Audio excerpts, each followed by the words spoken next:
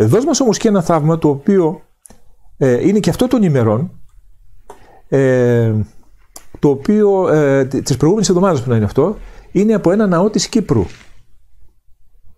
Ε, ήμουν επιφυλακτικός καταρχήν, μήπως είναι κάτι... Ε, λοιπόν, κοιτάξτε, μέσα από την εκκλησία ε, θα δείτε από κάμερα την οποία είχαν πίσω την ώρα της ακολουθίας τι φως σε λίγο παρουσιάζεται πάνω από τον πολυέλαιο. Αυτός είναι ο πολυέλαιος, ο κεντρικός πολυέλαιος. Σε λίγο θα δείτε το φως το οποίο ξαφνικά. Βλέπετε, κοιτάξτε, το φως το οποίο εμφανίζεται. Δεν είναι, δεν είναι τρικ, δεν είναι οπτικό φαινόμενο, δεν είναι εφέ, αλλά είναι ε, θαυματουργικό φως. Και αυτό εμφανίστηκε ακριβώς ε, την ώρα που ε, ψαλόταν το, το απολυτίκιο του Ευαγγελισμού. Σήμερα τη σωτηρία σημό το κεφάλαιο. Εκείνη, εκείνη είναι ακριβώς ε, τη, ε, τη στιγμή, μετά τους χαιρετισμούς.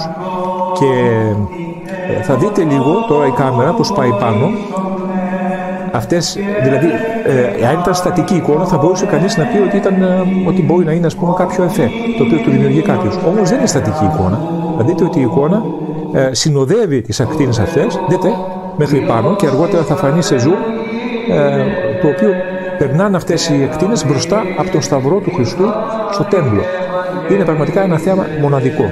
Είναι ένα μοναδικό θέαμα, δεν έχω ξαναδεί κι εγώ κάτι τέτοιο.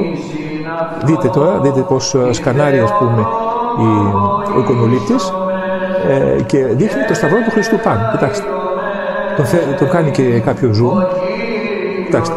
Αυτό δεν γίνεται, δεν γίνεται με, με εφέ αυτό το πράγμα. Όλε αυτέ οι κινήσεις που έγιναν είναι πολύ δύσκολο να, να γίνει. Αυτό είναι, είναι ζωντανή η λήψη, έτσι ακριβώς πώ την έδειξε η κάμερα.